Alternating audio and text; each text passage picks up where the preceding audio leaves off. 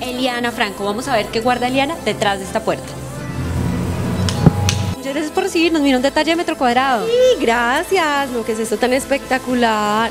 ¡Ah! Maravilloso, apenas para el fin de semana. Me alegra que te encante y vamos a conocer tu casa. Claro, bienvenidos. Vamos.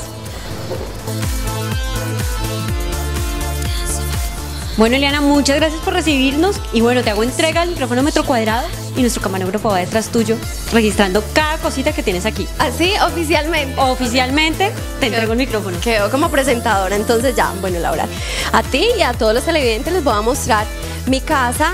Es muy simple, sencilla, pero la amo. Me gustan muchísimo los espacios que son abiertos. Aquí está el balcón donde se puede ver la ciudad. Eh, hay un comedorcito donde es rico por la mañana uno levantarse, mirar, digamos que el sol está saliendo y tomarse uno un cafecito o un jugo, eso me parece encantador.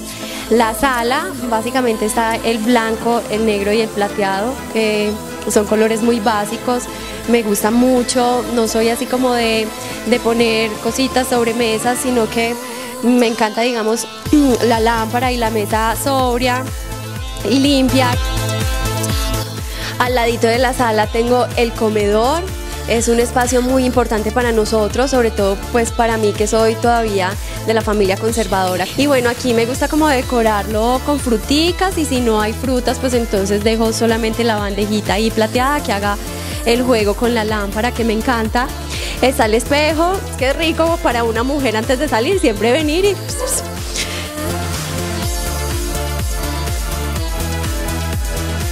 Mi cocina, que siempre tratamos de que esté supremamente limpia a toda hora del día.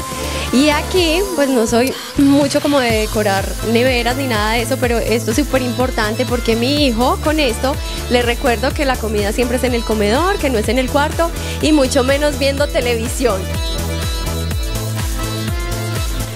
Bueno, este es el tercer cuarto o cuarto de huéspedes. Aquí es donde viene siempre mi familia, mi mamá, mis hermanos.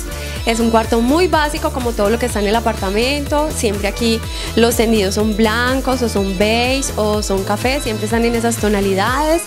Mm, hay sí mucho una mesita de noche, una silla, un televisor y pare de contar. No soy de las que tienen muchas cosas. Este es el cuarto de mi hijo Samuel, tiene cuatro años y medio y es quizás el cuarto que más desordenado mantiene y pues el que tiene más color. Obviamente él ya está creciendo y impone sus reglas.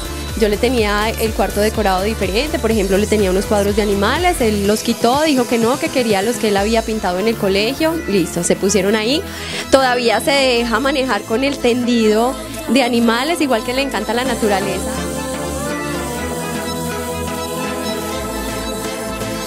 Este lugar me encanta, además porque casi siempre lo transformo cuando quiero relajarme, hacer una meditación, orar, estar tranquila. Corro ese mueble para allá, lleno esto de almohadas y tendidos y pues es un lugar rico y relajante para uno disfrutar y encontrarse con la paz interior.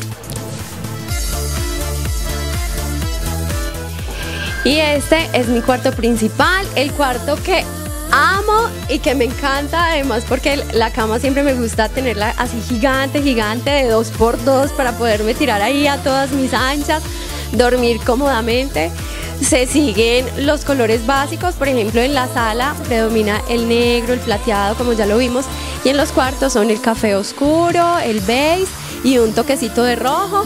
Mi cama está acompañada de un cuadro que me regaló mi mamá y detallitos rojitos muy bonitos, unas rosas que siempre pues me dan así como ese estilo de romanticismo. Este es mi cuarto, aquí me encanta dormir, me encanta eh, también pasar horas con mi familia y bueno, el espacio es muy amplio, tiene una ventana muy amplia que deja ver la ciudad y además que es muy ventilado, entra muy buen viento a toda hora del día.